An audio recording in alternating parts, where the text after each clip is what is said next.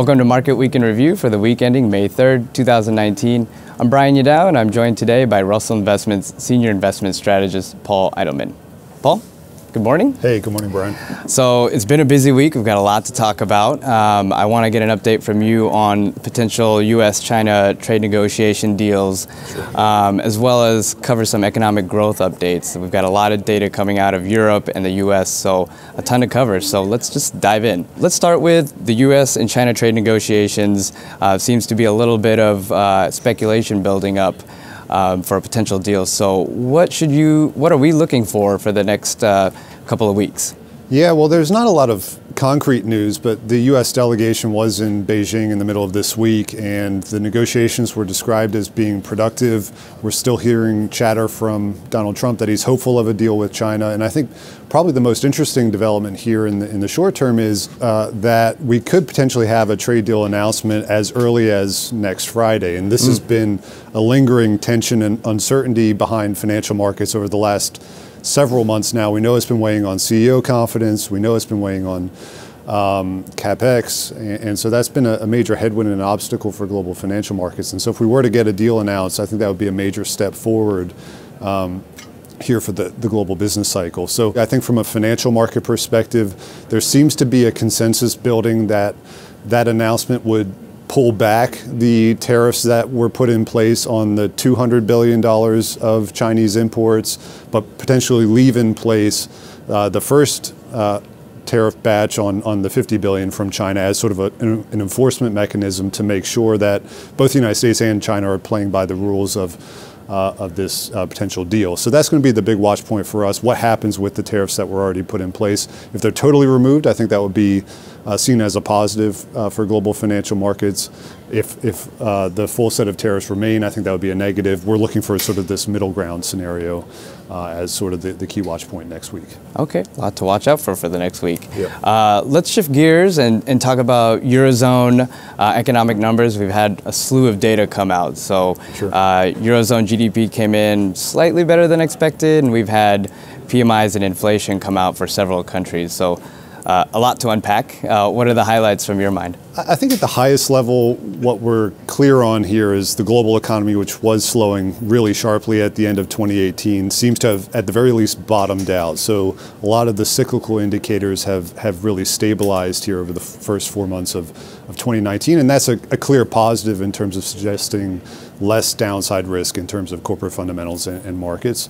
In terms of the numbers this week, as you mentioned, uh, the European data was a bit stronger from a GDP perspective. So for the first quarter, we saw 1.5% annualized growth in Europe, which was almost double what they were delivering uh, in the second half of 2018. So an, an inflection and a positive one, uh, consistent with our more upbeat uh, forecast for the region. It's not a uniformly positive picture, though. We, we also pay attention to what's happening with the bank credit and money supply numbers in mm. Europe as kind of a gauge of uh, the underlying strength on a more high frequency basis. And the numbers this week were a little bit softer in that regard. So even though we saw a first quarter pop, it's not totally obvious that Europe is, is strengthening in a big way on a forward looking perspective. So I think still uh, some watch points and, and need for greater confirmation out of Europe going forward. Um, the data out of China as well has been a little bit mixed where definitely an end of the slowdown that we saw at the end of 2018. Some encouraging data in March that we've talked about in previous mm-hmm. market reviews in terms of stimulus and industrial production growth. Uh, but this week, a, a, minor tick back down in, in terms of their forward looking uh, manufacturing data for the month of, of April. So kind of a mixed message, definitely an end of the slowdown and I think a stabilization in the global cycle. We're expecting uh, a positive inflection and the potential for a mini cycle and greater strength going forward as uh, trade uncertainty potentially dissipates with this uh, deal maybe being announced next week. Uh, let's finish things up here in the U.S. Uh, we've had a lot of data as well come out. So we've had uh, Jerome Powell speak earlier this week. He was a little more focused on inflation. Yep. Uh, we had the employment numbers come out this morning. So uh, payrolls, wages, unemployment, all coming in better than expected. So yep. again, a lot uh, to digest there. Uh, what are your key takeaways?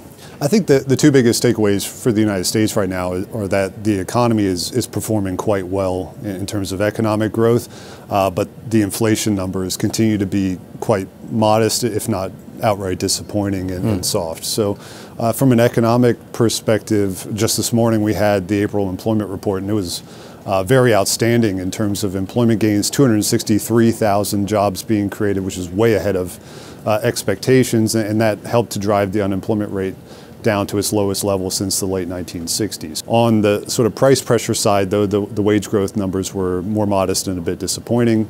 On the, the price inflation side as well, the numbers from this Monday were also disappointing, and we're looking at core PCE inflation of just 1.55% right now, and that's kind of considerably below the Fed's 2% target right now. So that's been the, the tension that, that Powell talked about uh, at the May uh, Fed meeting this week. They're recognizing solid economic growth and, and sort of less downside risk uh, than when they started their pause on the interest rate cycle.